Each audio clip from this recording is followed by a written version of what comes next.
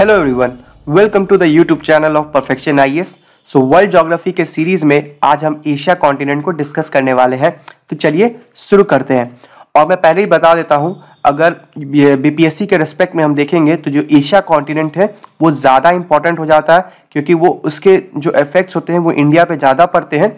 इस वजह से जो क्वेश्चंस आते हैं, वो एशिया कॉन्टिनेंट से आने का चांसेस बहुत ही ज़्यादा रहता है। तो चलिए शुरू करते हैं।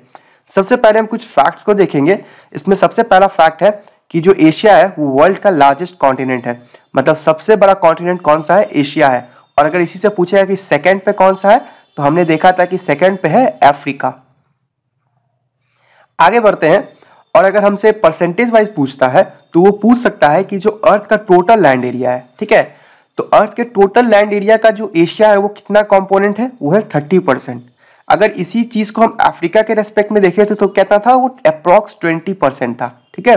तो एशिया का अफ्रीका कॉन्टिनेंट से एरिया कितना ज़्यादा है वहाँ आपको पता चल जाता है ये ट्वेंटी परसेंट था और यहाँ पे ये थर्टी परसेंट है। नेक्स्ट हम देखते हैं कि अर्थ के टोटल सरफेस एरिया का अर्थ के टोटल सरफेस एरिया का ये 8.7 परसेंट है। यहाँ पे लैंड एरिया का था ये सरफेस एरिया का था। अब हम देखते हैं कि जो एशिया कॉन्टिनेंट है वो कहाँ पे लोकेटेड है? और इसके बाउंड्रीज क्या क्या है? अगर हम ईस्ट में देखते हैं तो स्वेस कैनल है। अगेन अफ्रीका में हमने पढ़ाया था स्वेस कैनल के बारे में, जो इजिप्ट के पास है तो उसी में हम लोग देखते हैं कि ईस्ट के पार्ट में ईस्ट में वो स्वेस कैनल था। यूरल रिवर था यूरल माउंटेन्स था। यूरल माउंटेन्स क्या था? जो रशिया का पार्ट यूरोप में है और जो रशिया का पार्ट एशिया में है यूरोप में है और एशिया में है, वहाँ पे जो डिवीज़न था ना, उसको हम लोग यूरल से देखते हैं। तो यूरस के इस साइड था यूरोप और इस साइड है एशिया, ठीक है? रशिया का दोनों पार्ट था। तो वहाँ पे हम लोग देख ली कि ये यूरस था, यहाँ पे स्वेज कैनाल है, यहाँ पे यूरल रिवर है। उसके बाद ये जो है, कॉकस माउंटेन जो हमने देखा था यूरोप के मैप में, वो साउथ के मतलब कॉकस माउंटेन के जो साउथ का पार्ट है, उसे हम एशिया कह सकते हैं और यहाँ पे कैस्पियन सी और ब्लैक सी के साउथ में भी हम उसे बोलेंगे। ईस्ट में हम देखते हैं तो एक बहुत बड़ा ओशियन है, उसको हम लोग क्या बोलते हैं? Pacific ocean. साउथ में हम देखते हैं, इंडियन ओशन है। इंडियन ओशन एक लौटा कॉन्टिनेंट है, जो किसी कंट्री के नेम पे है, जो है हमारा प्यारा भारत इंडिया तो इंडिया के नाम पे इंडियन क्वेश्चन इंडियन ओशन को रखा गया था। And on the north by the Arctic Ocean तो नॉर्थ में क्या था? आर्कटिक ओशन उसके बाद हम देखते हैं कि अगर हाईएस्ट प्लेस और लोएस्ट प्लेस पूछता है तो हाईएस्ट प्लेस जो है वह है माउंट एवरेस्ट और लोएस्ट प्लेस ऑन अर्थ है, उसे हम कहते हैं डेड सी सोल आगे बढ़ते हैं। तो सबसे पहले हम थोड़ा सा मैप को देख लेते हैं, जो हमने थ्योरी भी पढ़ी तो वो का, उसका मतलब क्या हो सकता है? देखो, यहाँ पे कारा सी है, ठीक है? यहाँ पे बैरेंट सी है। तो ये पुराने है बट मैं रिवाइज करा रहा हूँ। पहले आप देख लो उसके बाद मैं जूम करके भी दिखाऊँगा। तो यहाँ पे देखो है यूरल माउंटेन ठीक है? उसके देखो, ये था यूरल रिवर यहाँ पे देखो कैस्पियन सी अराल सी आगे मैप में कैस्पियन सी को और अच्छे से हम लोग देखेंगे। यहाँ है देखो ब्लैक सी ये मेडिटेरियन सी था ठीक है? तो अभी देखो पूछता है ना कि ठंड में जो बारिश होती है ठंड में जो यहाँ पे पंजाब हरियाणा दिल्ली फिर कभी कभी वेस्ट बंगाल वेस्ट बंगाल कहते हैं यू, यूपी साइड तक भी बारिश पहुँच जाती है तो इसको बोलते हैं नॉर्थ वेस्टर्न डिस्टर्बेंस तो अगर पूछता है कि जो नॉर्थ वेस्टर्न डिस्टर्बेंस है, वो कहाँ से आता है तो उसका आंसर यही है कि वो मेडिटेरियन सी से उठ के वो हवाएँ आती हैं और वो अपने साथ बारिश लेके आती हैं। नेक्स्ट देखो, यहाँ पे था सिनाई पेनंसुला क्या था? सिनाई पेनंसुला इजिप्ट का पार्ट था। वहाँ पे हम लोग देखा था कि जो स्वेच कैनाल है, नीचे अगर आ जाओ तो वो क्या हो जाता है? Red Sea Gulf of Aden Arabian Sea यहाँ पे है सेशलीज ये अफ्रीका का पार्ट है। यहाँ देखो मालदीव्स है, काफ़ी अच्छा टूरिस्ट डेस्टिनेशन है। ये हमारा प्यारा भारत का Lakshadweep island Sri Lanka Palk Strait Bay of Bengal Andaman and Nicobar islands अब हम इधर चले जाएँगे तो यहाँ था मलक्का स्ट्रेट काफ़ी इंपॉर्टेंट स्ट्रेट है स्ट्रैटेजिक पॉइंट ऑफ़ व्यू से अब ये देखो इंडोनेशिया फिर यहाँ पे Singapore Malaysia Brunei Philippines group of islands Indonesia इधर फिर ऑस्ट्रेलिया का पार्ट चला जाता था।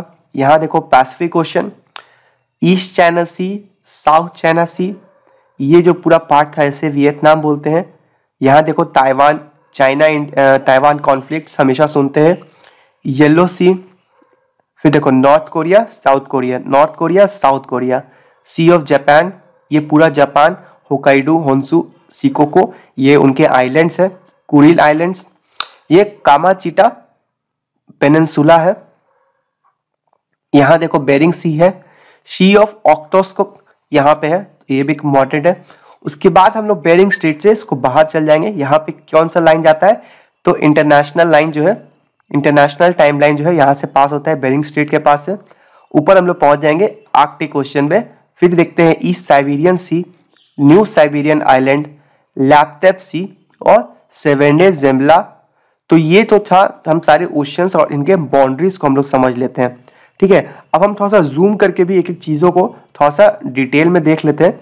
तो सबसे पहले हमने देखा था बैरेंट सी, फिर कारा सी यूरल माउंटेन्स आए थे Ural rivers Caspian Sea Caucasus mountain यहाँ पे था एरल सी था। फिर देखो यहाँ पे एक इंपॉर्टेंट चीज़ है ना आर्मेनिया अजरबैजान। आगे भी हम लोग देखेंगे तो आर्मेनिया अजरबैजान का दो एरिया है। नगोर्नो काराबाग यहाँ पे कॉन्फ्लिक्ट्स होती हैं। आर्मेनिया, अजरबैजान का एरिया है नगोर्नो काराबाग वहाँ पे कॉन्फ्लिक्ट्स होती हैं। अगर आपसे पूछा जाएगा कि इंडिया ने किस कंट्री को, आर्मेनिया और अजरबैजान में से किस कंट्री को अभी कुछ रेडास और मिसाइल्स दिए हैं तो आप इसे कमेंट सेक्शन में बताओ। फिर देखो यहाँ पे है ब्लैक सी मेडिटेरियन सी ये देखो टर्की है, ठीक है? यहाँ पे हमने क्या बात था? बॉस्फोरस स्ट्रेट डार्डिनल सी है ना? स्टेट सॉरी फिर देखो Israel Red Sea Gulf of Aden Yemen Oman UAE अभी वर्ल्ड कप कहाँ हुआ? है ना? पूछ सकता है आपसे। फिर देखो कंट्रीज़ को तो हम बाद में देखेंगे। फिर Arabian Sea Seychelles Maldives Palk Strait Bay of Bengal Arabian Sea Andaman Nicobar फिर इधर से मलाका स्टेट से हम लोग आ जाते हैं एशियान कंट्रीज़ में। फिर South China Sea Yellow Sea East China Sea Sea of Japan Sea of Okhotsk Bering Sea Bering Strait Arctic Ocean तो इस तरीका का ओवरऑल हमने देख लिया कि जो आ, मतलब कि एशिया है उसका लोकेशन कहाँ पे है इसके बाउंड्रीज कहाँ कहाँ पे है। अब आगे हम लोग देखते हैं ना कि जो एशिया का रीजनल डिविजन है उसको भी हम लोग को अच्छे से पढ़ना ज़रूरी है। तो वहाँ पे हम लोग फाइव या सिक्स डिविजन है रीजनल डिवीज़न ऑफ़ एशिया का। तो पहला जो हम लोग डिवीज़न देखते हैं वो देखते हैं सेंट्रल एशिया के बारे में। मतलब एशिया का जो सेंटर है है ना, जो कैस्पियन सी के इधर जो कंट्रीज़ थे, कजाकिस्तान, किर्गिस्तान, तजाकिस्तान, तुर्कमेनिस्तान और उज्बेकिस्तान। तो ये फाइव कंट्रीज़ हैं जो सेंट्रल एरिया एशियन कंट्रीज़ आते हैं। उसके बाद हम लोग देखते हैं ईस्टर्न एशिया के कंट्रीज़ जैसे China Hong Kong Japan North Korea South Korea Macau Mongolia और ताइवान उसके बाद नॉर्दर्न एशिया में इकलौता कंट्री कौन सा है? रशिया साउथ ईस्टर्न एशिया ये काफ़ी इंपॉर्टेंट भी रहता है। जैसे एशियान कंट्रीज़ भी पूछ सकता है कि कौन कौन कंट्रीज़ एशियान के मेंबर्स हैं, ठीक है? इसको मैं आगे दिखाऊँगा। इसमें एक नया इलेवेंथ मेंबर भी आया है, उसके बारे में भी मैं आपको बताऊँगा। तो south east Asian country eastern Asia में ब्रूनई, म्यांमार, कंबोडिया, आप भी साथ में ना मेरे साथ बोलो और मैपिंग करो तो ये कंट्रीज़ याद रहेंगे। Indonesia, Laos, Laos, Malaysia, Philippines, Singapore, Thailand, Timor, Leste. जो ये इलेवेंथ कंट्री का बारे में मैंने बताया था, उस कंट्री का नाम है तिमोर लेस्टे। उसके बाद वियतनाम। फिर हम साउथ ईस्टर्न, सदर्न एशिया में आ जाते हैं। अफ़गानिस्तान, बांग्लादेश, भूटान, हमारा प्यारा भारत, मालदीव्स, नेपाल, पाकिस्तान और श्रीलंका। अब western Asia, again very important strategic point of view से। करंट अफेयर्स के हिसाब से भी। तो अब देखो, पहले अर्मेनिया अजरबैजान कॉन्फ्लिक्ट में दो countries Armenia Azerbaijan Bahrain, Cyprus, Georgia Iran Iraq, Cyprus भी देखो काफ़ी इंपॉर्टेंट है और काफ़ी करंट अफेयर्स में रहता है। इराक, इसराइल इसराइल को हम लोग अच्छे से पढ़ेंगे क्योंकि इससे बहुत सारे क्वेश्चंस आ सकते हैं। या मतलब हमेशा क्वेश्चंस रिपीट होते हैं, मेरा ये कहने का मतलब है। नेक्स्ट हम देखते हैं Jordan, Kuwait, Lebanon, Oman, State of Palestine, Qatar, Saudi Arabia, Syria, Turkey, UAE और येमेन। तो हमने यहाँ पे six regional divisions of Asia को देखा।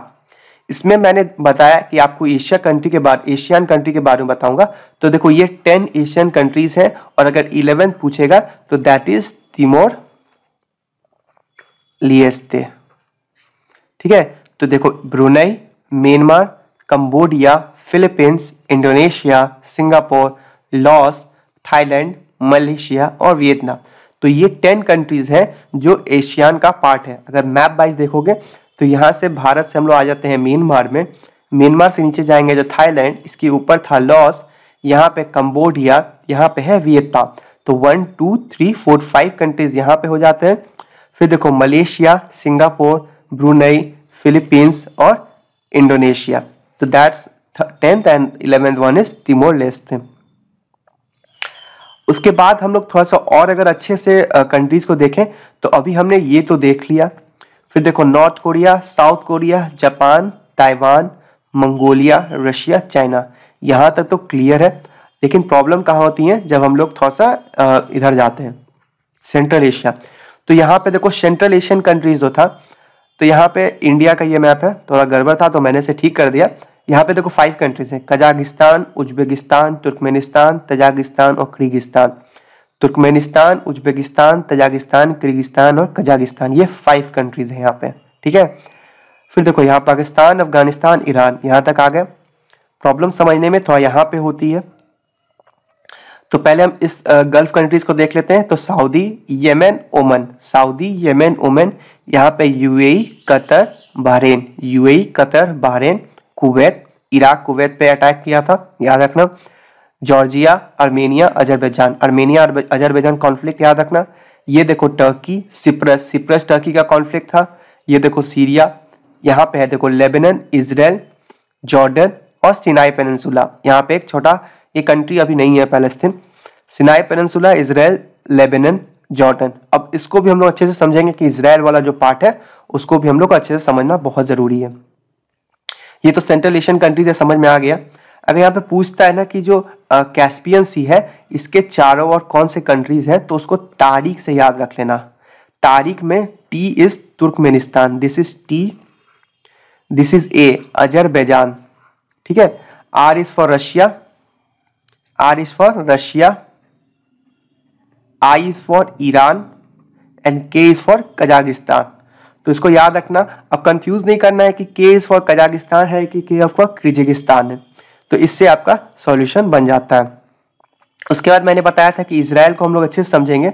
तो देखो, अगर ये इजिप्ट है सिनाई पेनसुला वाला पार्ट है तो इधर इसराइल है, इधर जॉर्डन है, इधर हम लोग सीरिया को देखते हैं और इधर लेबेनन है। तो कौन कंट्रीज़ है? इजिप्ट लेबेनन सीरिया और जॉर्डन बीच में है हमारा डेड सी ठीक है?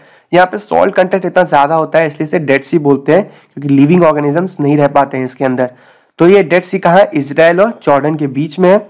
उसके बाद अगर इसराइल से रिलेटेड पूछेगा तो कुछ इंपॉर्टेंट चीज़ें पूछ सकते हैं। क्या पूछ सकता है? गाजा स्ट्रिप बहुत इंपॉर्टेंट है। गाजा स्ट्रिप वेस्ट बैंक और गोलन हाइट्स क्या तीन को बताया? गाजा स्ट्रिप वेस्ट बैंक और गोलन हाइट्स तो ये याद कर लो कि ये कहाँ पे है? इसराइल का पार्ट है। इसके बाउंड्री कंट्रीज़ कौन से हैं? अगर इसराइल का कैपिटल है तो देखो ये है तेल अवीव। ये जो है ना, यहाँ पे है पैलेस्तीन का पार्ट था। यहाँ पे है देखो जेरूसलम, जो इम्पोर्टेंट रिलीजियस सेंटर है। तो ये हो गया इसराइल का पार्ट। चलिए आगे बढ़ते हैं। तो आगे का वीडियो हम नेक्स्ट वीडियो का एक पार्ट बनाएँगे, उसमें मैं आपको physical division of Asia पढ़ाऊँगा। Thank you